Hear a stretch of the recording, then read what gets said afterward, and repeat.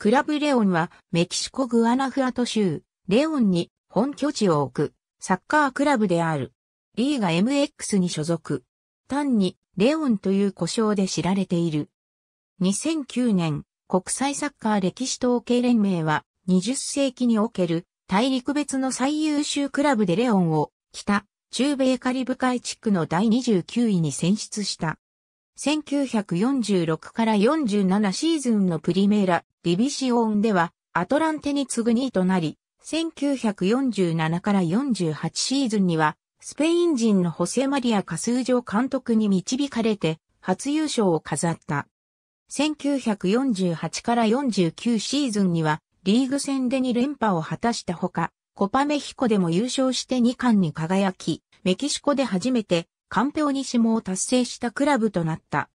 1951から52シーズン、1955から56シーズンにもリーグ優勝し、1958から59シーズン、1972から73シーズン、1974から75シーズンには2位となった。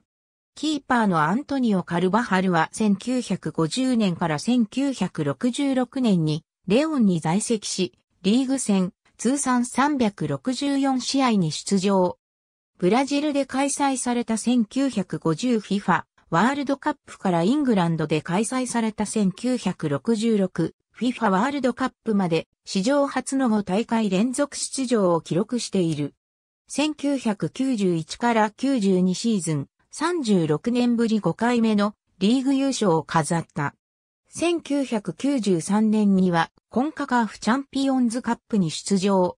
北、中央アメリカゾーンの1回戦でレアルエスパーニャを2回戦でアラフエレンセを破り、4クラブによる決勝リーグに進出した。決勝リーグはグアテマラシティでのセントラル方式で行われ、初戦ではサプリサに2から2で引き分け、2戦目はロビンフッドに4から0で快勝した。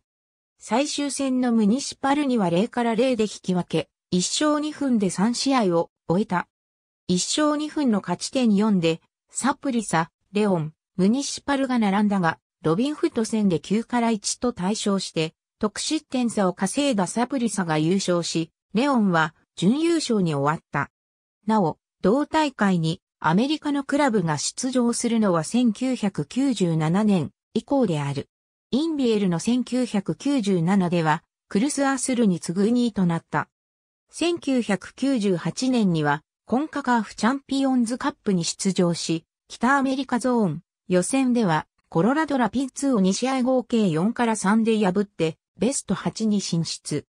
北アメリカ、中央アメリカ、カリブ海の各地区からの出場クラブが、アメリカのワシントン DC でセントラル方式による決勝トーナメントを戦った。準々決勝では CD ルイス・アンヘル・フィルポに勝利したが、DC ユナイテッドと対戦した準決勝では結果的に優勝するクラブに0から2で敗れた。2002年にはプリメイラディビシオン A に降格し、リーガー戦争では毎シーズンのように優勝争いを演じたが、プレーオフではいつも平凡な成績に終わり、昇格を逃し続けた。2012年1月には、ウルグアイ人のグスタボ・マトサス監督が就任し、クラウスーラ2012終了後には10年ぶりのプリメーラディビシオン昇格を果たした。アペルトゥーラ2012のレギュラーシーズンには3位となり、翌年のコパリベルタドーレス出場権を獲得。リギージャでは準々決勝でクルスアスルを破ったが、準決勝でクルブティフアナに敗れた。アペルトゥーラ2012終了後には、ニューヨークレッドブルズからラファエル・マルケス、CF パチューカからネリー・カスティージョを獲得するなど、積極的な補強を行った。2013年のコパリベルタドーレス1回戦では、デポルテス・イキケと対戦したが、アウェーゴール差で敗れて、グループリーグ出場を逃した。歴史的に、同じレオン市内に本拠地を置く、ウニオン・デ・クルティドーレスとライバル関係にあり、両クラブの対戦は、デルビー・デ・レオンと呼ばれる。クルティドーレスは1928年に設立され、長らくレオン市唯一のクラブだったが、1943年にクルブレオンが創設された。最も重要なライバルはレオンから約 60km 離れたイラプアトに本拠地を置くイラプアト FC であり、両クラブの対戦はクラシコデルバヒオと呼ばれる。中、選手の国籍表記は FIFA の定めた代表資格ルールに基づく。ありがとうございます。